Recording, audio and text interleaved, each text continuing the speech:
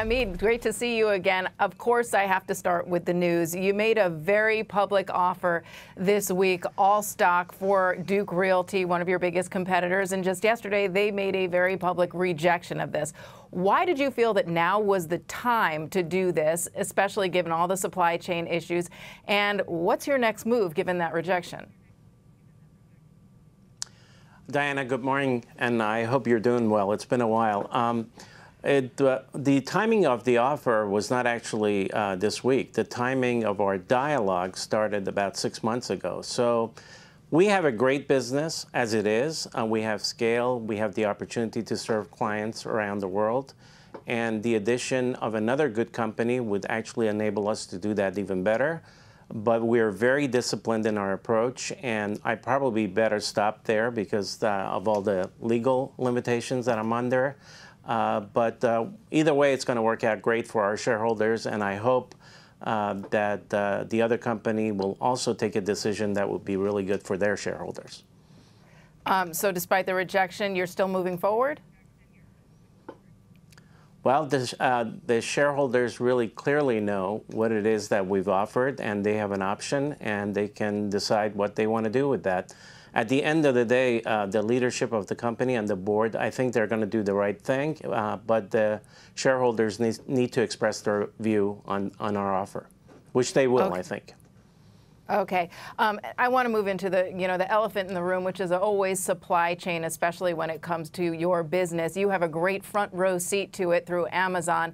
Give us an update on what you're seeing. We're we're hearing some improvement in some areas, but you know I cover real estate, and every home builder or contractor I talk to is still waiting for windows and doors, et cetera, uh, and other things in the construction industry. What are you seeing now in supply chain? Any improvement?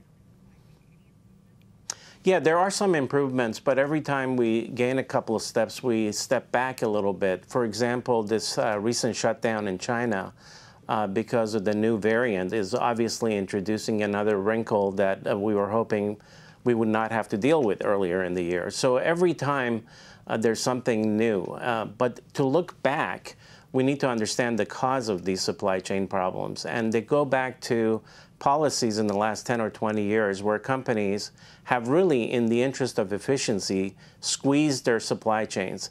Uh, they've tried to get away with less and less inventory. And yet the customer demand, the end customer's demand is for uh, more goods, more variety, and quicker. So those two things are in conflict with one another. One, uh, one means that we're trying to get a higher return on capital by reducing inventories, and the other means that we got to have a lot of inventories around to serve the customers. And when you have something like the pandemic, or you have a political issue, or you have war, all these things take these highly engineered supply chains and raise havoc with them. And as a result, bottlenecks emerge and they have to be dealt with. Now, the acute phase of, of all this was last year uh, leading up to Christmas. And uh, companies were solely focused on getting through the Christmas season. I think after the Christmas season, there's been some relief, and companies have had the ability to catch up a little bit. But like we said last year, everybody was uh, was talking about this problem going uh, going away in 2022. We were in the camp that said 23, 24. I think it's going to be a while uh, before we get back to what you would consider normal, unless the world goes back to a very benign a place where everything works out the way the engineers plan it. Which, and I don't think we're in that kind of a world. Yeah, I would say that's unlikely, highly unlikely. Um, given that, given the pandemic, given all these supply situations, how did you evolve the model, the business model at Prologis? And specifically when it came to labor, um, we know there's a labor shortage out there and it still continues, but how did you evolve that model to deal with all these changes? Well, um, you know, it starts uh, um, with, with prepar preparation, and we really set our strategy about 15, 20 years ago uh, we reduced our footprint in out of the way areas and focused our real estate in major metro areas where the majority of the consumption takes place. And we got really close to the end customers uh, by being in these population centers. So that was really the foundation of, uh, of being ready for this. And over time, we've just kept our ears wide open. Uh, listening to our customers. Historically, real estate has not been a customer centric business. Frankly, most people didn't really care who their landlord was, and they just cared about price and location. But when you're in our business, if you're in a logistics business, you're not just leasing one building. The successful companies are leasing 100 buildings. And the quality of the network and the quality of the company from whom you lease space and the services that that company provides become all of a sudden really important because those customers want to go about doing their business. They don't want to get into our business and deal with all the issues that we should be solving for them, but historically our industry hasn't been structured to solve for. One of those issues is labor. And uh, starting about five years ago, we kept hearing from our customers that their number one, number two, and number three problems had to do with the availability of labor. And this started long before the pandemic, and it just got more acute as a result of the pandemic. So uh, about three, three and a half years ago, we started an initiative uh, called the Prologis Community Workforce Initiative. We started it in LA, went to Miami, then went to Chicago, and are now rolling it out globally. And it's really a curriculum and a certification process to train uh, workers in the logistics business, which is one of the biggest new net creators of jobs. And these are now good jobs, they're paying uh, quite well and they're a perfect entry level or even mid-career jobs for a lot of people that used to be employed in retail or hospitality or some of the other industries that that were shedding people. So um, our goal is to train 25,000 people by 2025. We've already trained 13,000 people. We've placed a lot of them in good productive jobs. And as part of that process, we've gotten closer to the customers and understand now better their other issues, and we're tackling those other issues uh, like energy, like mobility, like electrification of their, of their fleets. Uh, many, many other issues that are surrounding and adjacent to the real estate um, that we lease to them. And that, has been, I think that's going to be actually a huge engine for our growth going forward. There are not many businesses where you have a five to 10 year relationship with a customer and that customer's need uh, uh, changes during those, that five or 10 year period. And you're in the best position by virtue of our scale and purchasing power to provide products and services to them at a very efficient and inexpensive uh, way. So that's where our focus is. So you faced war, you faced a pandemic, you faced a labor issue. Now you're facing rising interest rates as well as inflation. How do you think that's going to affect consumers and e-commerce and everything that goes into your business? Well, certainly the consumer is facing headwinds. I mean, they're paying a lot more for gas, they're paying a lot more for food and other things, and uh, so the customer is getting uh, squeezed. The good news is that they're making it up in wages. Maybe not in its entirety, but they're making up some of those headwinds uh, in, in rising wages. So that's a, that's a good sign. Also, the market is very tight in terms of employment.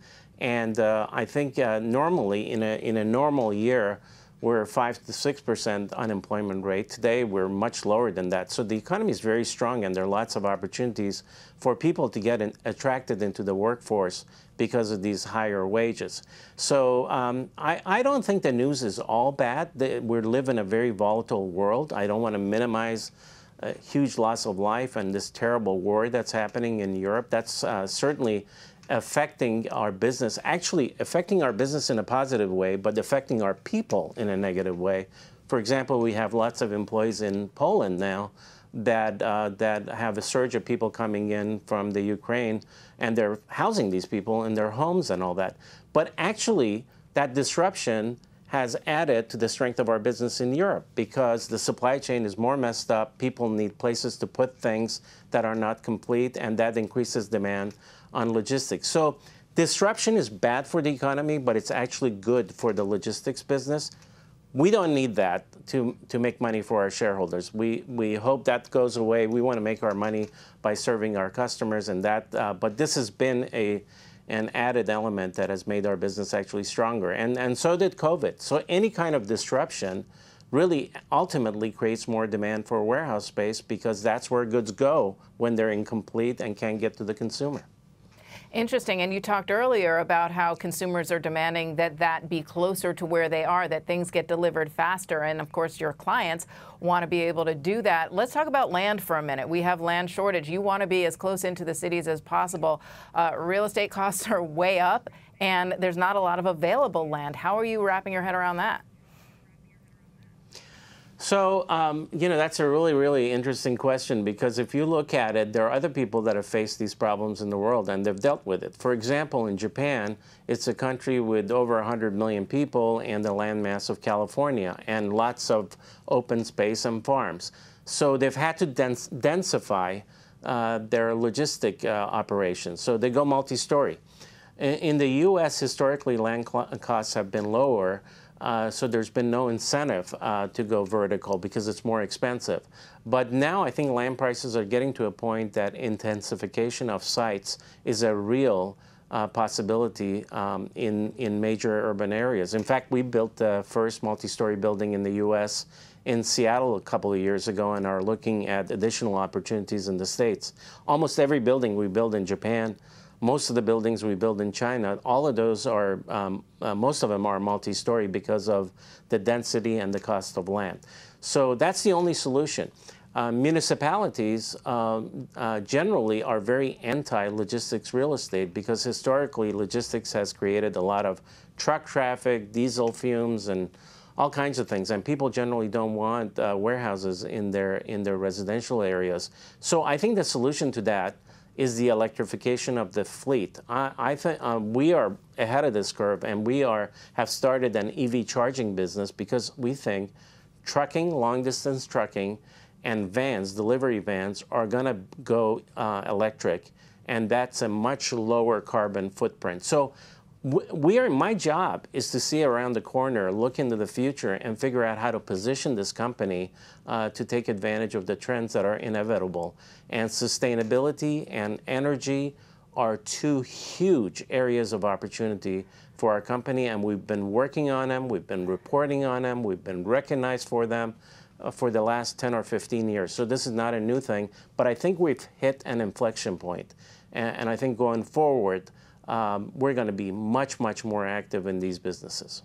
And since you bring it up, I have to ask about climate risk. I mean, real estate is in the front lines, of course, in climate. You talk about where you're choosing your locations. You're talking about your supply chain issues potentially being disrupted by climate change. How are you gauging your risk and how are you also creating, you know, real estate is one of the worst carbon offenders. You talked about electric vehicles, but in the buildings themselves, on both sides, we talk about climate risk disclosure. Disclose if you could. So um, um, real estate generates a lot of um, um carbon, um, basically, and uh, people focus on the construction aspect, and actually there are emerging technologies that are reducing that. There, there's actually concrete that uh, can capture uh, CO2 and there are lots of other technologies that I can walk you through. But at the end of the day, the biggest offender is going to be is currently transportation. So we can get our buildings built with uh, with a lower impact. That's not a big problem. Getting the fleets and the transportation uh, problem and that carbon out of the air is the bigger challenge. I think there's a limitation on the capacity of vehicles that companies can produce. Particularly, all the energy has been on cars, basically. And now we need to turn that energy to, to trucks and vans because they're big offenders uh, with respect to this uh, climate issue. Um, climate, it goes into every investment decision that we make. Uh, I mean, we look at the climate risk. These are physical assets that are sitting targets. So uh, we're not only building them in a lower impact way, but we're uh, locating, locating them in locations uh, that are somewhat insulated, not completely, uh, but from climate effects. So it's a, it's a really big and increasingly bigger and bigger factor in our decision making. But since you are smack in the middle of supply chain, how do you protect your business against supply chain disruptions from climate change, be it fire, flood, storms, et cetera? So again, uh, disruption is uh, actually creates demand for logistics space. So uh, we're not counting on that uh, for our, uh, for our growth. But all of those things uh, in, in the short term create demand for the supply chain. And companies have realized that. So they're not running uh, quite as lean, or they don't want to run quite as lean as they were before the pandemic because they now realize that these highly engineered supply chains work great in theory until something breaks. And when something breaks, they really back up in a big way. So one of the opportunities is for them to carry more inventory in the system for increased resilience. And we've done some research in this area. We think there's going this is going to long term uh, lead to 5 to 10 percent more inventories, which is about 800 million square feet of additional warehouse demand just in the U.S. And the same thing is going to happen to other other countries. And so you have this. We had a good business. E-commerce really turbocharged it because e-commerce takes three times as much warehouse space than bricks and mortar uh, retail that needs to be supported by warehouses. So that was a big tailwind. Then you had the resilience that has come out of the pandemic and, and the other disruptions. And all of those factors have taken uh, a really good business and turned it into a great business. And on the other side is the supply equation. And for reasons that we talked about, uh, supply is getting more and more difficult to bring on. So as a result of that, you have surging demand uh, sort of clashing with limited supply. And as a result, uh, rents are very strong. Um, our U.S. portfolio is almost 50% under rented. That means our leases, if rents go nowhere from here, they just roll over, we can capture about 50% upside uh, in our rent rolls. So um, on top of that, you've got construction costs that are going through the roof. So the next building can't come online unless the rents that it achieves are much higher. So as an owner of more than a billion square feet of uh, real estate, actually uh, we're in really good position because we acquired those buildings or built those buildings with much lower costs, and we're benefiting from this pricing power that we're getting as a result of uh, strong demand and tight supply. And this is not something where you can flip a switch and change it the next day. Uh, this takes years and years, and actually the trends so far are not conducive to additional supply. They're going the other way.